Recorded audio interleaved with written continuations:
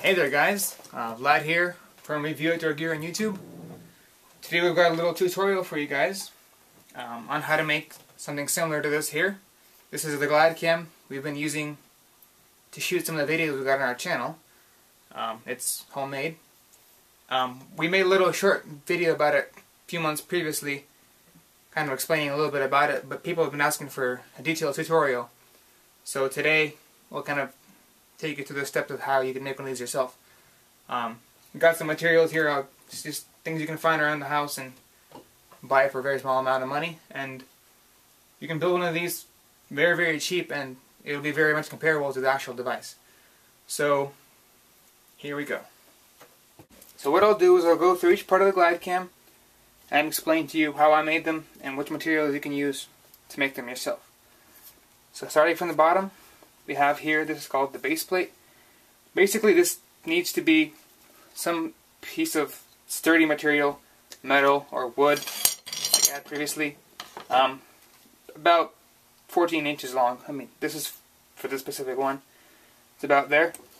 Um, basically needs to have a one hole in the middle where it attaches to the bottom, to the shaft here, and just a couple holes on the outside where you can attach your weights. And if you want, you can attach the little feet. Those are it's not really needed for the actual function, but it just kind of stands upright. Um, this piece here I actually had a friend mill for me on a CNC machine, so it could be a little bit harder for you guys to get, but piece of wood works just fine. I had this one earlier. It worked just well. It was just kind of a sloppy job, but you can make one nice. I painted it here. Um, and then just it goes on the bottom there. Uh, for the weights on each side, you need equal amount of weights, and that that's determined by camera weight and the size of the the whole device here. But what I use is just a couple washers here um, attached to the base plate by these holes and some wing nuts here. Basically, I went to the hardware store and got some really big washers, and I weighed them out to be about all about the same weight here. And drilled some holes in the ones that are a little bit heavier. These are just about 70 grams each. Um, and then you can attach as many of these as you need when you're done to balance your camera and then they just go on here with a nut um, and a bolt. Just stack them on there like that. So the next piece of the GlideCam obviously here is the main shaft onto which you attach your base plate and your platform on top here and gimbals right here. The best material I found to use for this is tripod leg as you can see here. I just had an old tripod laying around at home that I tore apart and got the pieces off. You can find them at a thrift shop for five, ten bucks maybe um, just tear them apart and take the pieces you need. Uh, basically, you need something that is, that's extendable. You can kind of adjust the length of and fasten so it doesn't move around. You set it down. Um, so for about an average weight camera of about 3 to 6 pounds, you'll need maybe 10, 10 inches when it's closed to maybe 15, just to have a pretty good range there. That'll be important when you're actually balancing your camera later. Uh, that's pretty simple there. For the for the ends here, you'll need to somehow insert a bolt piece on either side. Uh, I have a bolt piece here that's different from this one here. Basically, just use some epoxy or some other method you have to fasten a 3 8 inch bolt. 3 8 because that fits the best with the bearings we have here. They slip on and don't fit pretty well in there. So about 5 inches bolt here. Make sure it's perfectly straight in both directions. In there. And about maybe half an inch or a little bit more, three quarters of an inch here. The next piece going up here is the gimbal. And this is probably the hardest piece to make out of the whole glide cam. It needs to be very uh, smooth and precise. The way I made it is actually got a, uh, not a scooter wheel, but a rollerblade wheel because they're smaller and probably more precise than the bigger scooter wheels, like the Razor scooters. Um, I got a scooter wheel and kind of cut off the sides to make it a little more square and a little bit smaller because you don't want a big wheel here in the middle. It'll be kind of bulky. So basically just cut off, like I did here, cut off the corners, make it a little bit square, sand it down, and that'll give you the little, the center piece that actually spins around and that'll go right on top here. So when you cut that off, it'll slip onto there, and that, that'll be the base of your gimbal there. To give the gimbal this up and down motion like this, you'll need to attach two bearings um, to the side of the rollerblade wheel, and you can get, get these bearings probably at any bike bike shop, or if you have an old razor scooter, you can pull these out. You'll need about five of them. Let's see here. What one, two, three, four. Yeah, I need five. Um, just attach to these basically, and the way you can attach those is, you, all you do really is you put them on the side and you cut off the side, put them there, and get a long screw and just screw it right to there. Because there's a hard plastic piece in the middle, you can screw right to that. Make sure they're perfectly opposite each other here, like this.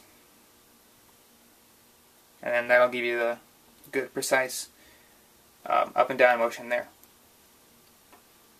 To make this piece here to which you attach your handle here and on, which attaches onto your main wheel here, you basically need just some pieces of wood, um, preferably hardwood, but if you have softwood like pine or something like that, it'll work. Um, cut out three pieces here, one one main piece for the handle, and two side pieces so that it slides to the middle. So you can fit a bearing there into the middle, and so that it slides almost flush with the with the center wheel here, so it's not really wobbly, because that will give you. It's not going to be very balanced that way when you put it all together. So just just judging on the size of your wheel that you're using, you have to make this to fit.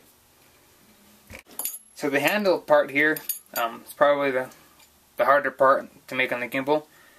Um, what you'll need to do is, I've taken it off here, in the back part of a, the wood piece here that attaches or whatever you made it out of, you'll need to drill a 7 8 wide hole to fit a bearing.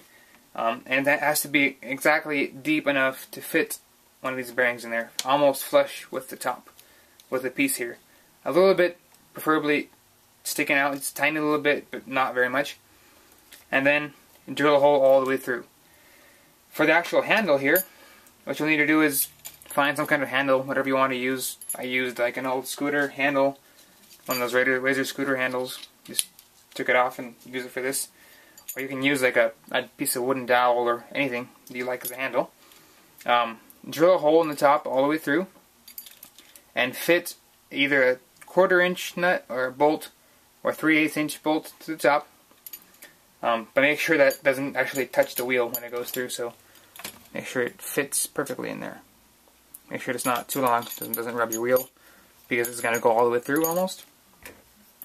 What you do then is you attach this bolt here with a nut here on the bottom just to secure the actual bolt. And then place one of those 7 uh, 7 8 inch bearings on top of that and then fasten that bearing down with another nut. And that'll kind of give you the smooth motion here. And then before you do all that you'll need to cut out out of either plastic or metal I have here a little piece that'll go around the nut there to kind of hold down the bearing so it doesn't fall out as you can see I'll show you in here in a second so cut a hole in there put this on put your bolt through and then attach your bearing.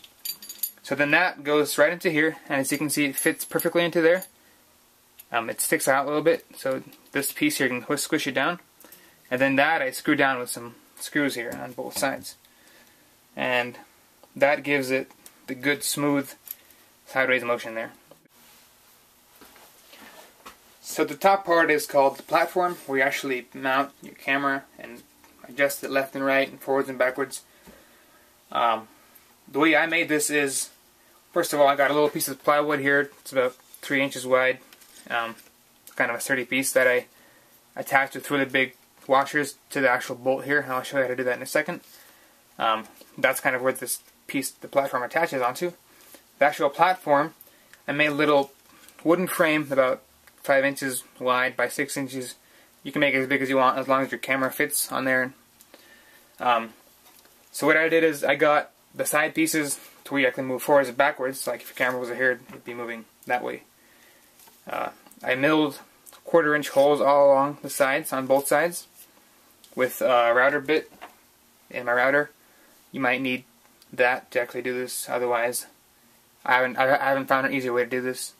Um, just drilling holes in the side is not going to be exact enough to actually balance your camera. So you'll need to actually mill holes in the side if you have a different method of doing that, you can either cut two pieces and then glue little sections in there, or somehow you got to make these long holes. Um, and then the top part where you actually move your camera left and right kind of looks like this. Just a little flat, wide piece on top with also another hole in there so you can move your camera left and right.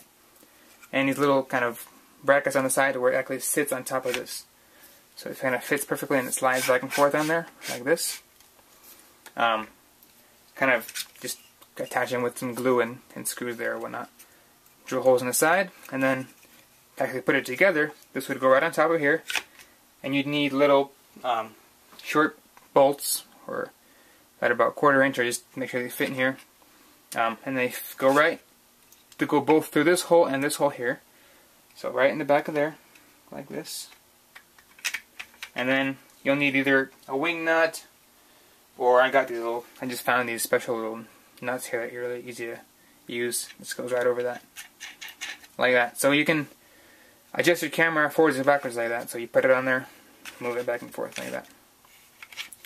Um, to actually make it, to actually mount your camera on here, you'll need another bolt, a quarter inch bolt. Make sure it's a quarter inch because the uh, the mounts and all the cameras are quarter inch. So this goes right in the bottom. So you get just any kind of bolt like this and get a wing nut, preferably a wing nut like this, and put it on kind of backwards so it looks like this. And if you want, you can put a washer on there. And so your camera would go right on top of here, like this, facing that way or whatever. And then this would go underneath it, and then it would go through this piece here into your camera, like this. So your camera would be right here. Then you screw that on with the, the wing nut here and then tighten it down. So you can adjust, when it's on there, you can kind of adjust your camera underneath, left and right like this, and then tighten it down. So that's kind of how the platform uh, works. It might be a little bit tough to make these these long holes, but they're they're pretty important. If you don't have those, you won't be able to balance it left and right, which is very important. So to assemble the whole Glidecam, start with your main shaft. Um, attach your base plate here with the with the bolt sticking out the other end. Make sure it's really tight on there and that it doesn't move if you bump it or something because when you're going to be actually using it, if you accidentally bump it on something, it might move and then your balance would be messed up. So put that on there, make sure it's tight, use a wrench or something. Um, then on your top bolt here, add a nut all the way down, screw it all to the bottom. And then on top of that, you're going to slide on your gimbal. I'm going to use this wheel just because my gimbal is on there. But kind of go on there like that. Down there. And then on top of that, put a little washer um, that kind of covers the the bearing down there. And then cut a little piece of this bottom leg that you had left over from cutting the longer piece and put it on top. And then on top of that, that'll kind of, it's kind of like, like a big extended nut kind of sort of thing. It's a really big spacer basically. And make sure it's all aligned perfectly there and straight. It kind of gives it a good look and also more stability when you'll put um, your thing on there. So then, this is kind of too long, but you'll put your bottom bracket on there and tighten that down really good and tight so that it's not wobble or anything and make sure that your gimbal still spins freely and then basically there you go. That's, that's all. Your gimbal is on there. Your platform is mounted. And you got your uh, bottom bracket. And then you can balance it. So to balance the Glidecam, take your camera with preferably a really wide angle lens because that makes the smoothest shots. Take off your lens cap, make sure your battery's in there, make sure it's set to the zoom you want and the focus. Because that'll, if you change after you balance it um, on here, that'll kind of mess up your balancing. So to put it on there, use a little wing nut and a bolt, stick it through the bottom of the top bracket Put your camera on there like this and screw it on and just don't tighten it quite down because you're going to to still balance it. There but just kind of in the center and not lopsided. There we go about like that and um, at this point what you want to do is add weight to the bottom so that when your camera is on here and you pick it up like this and drop it down. It takes about about three seconds to, to drop from vertical to the bottom here. So if I count, it's about 1, 1000, 2, 1003. It's a little bit too much. So to adjust that, you raise or lower the bottom piece here. So if I want it to be faster, I'll um, I'll pick it up here, extend it longer. That way it'll fall really fast, like this. So it'll kind of swing down really fast. To make it slower, just lower it. So, see right about, it's a little bit too fast still. Cut right about, that would be good for now. So when you got that, um, when you got that all fit, figured out, you got the weights here, um, you got to balance the camera left and right and forward and backwards. So right now if I hold it, it kind of falls backwards. So you just uh, loosen these ones here, loosen these nuts, and move the camera forwards by small increments. Don't, move it too much because even a little bit, a little, little movement um, changes the balance a lot. So test it again. A little bit too much there. Move it back just a tad. Let's see.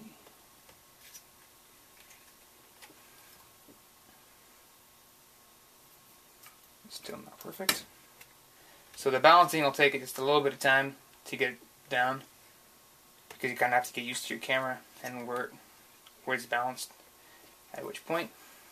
So that's good enough. And then say if your camera was to the side like this, over here, then you'd pick it up and it'd go to the, it'd fall over to the side like that. So what you do there is loosen the bottom nut down here, move your camera just by by small small increments.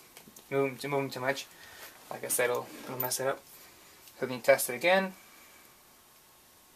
and I'm kind of I've kind of got it down for my camera, but after a few times of trying it, you'll get it perfectly. So when you pick it up, it should just hang perfectly, and when you move from side to side, it shouldn't wobble or anything like that. It shouldn't go back and forth, just hang there like this. It's a little bit off, but you get the idea. Oops. So there you guys go. That's the tutorial on my version of the GlideCam. Um, it's kind of, I'm still developing it. I'm changing, I'm adding new things, changing things all the time. So, if you have any questions, ideas, your comments, please leave them below. Uh, you know, like, favorite this video if you like this. If you like my design, got any suggestions, please leave them. I'll consider them. But there you go. Little, little, kind of a, not too detailed, but a little bit more detail on how to make the glide cam. Alright guys, see you later.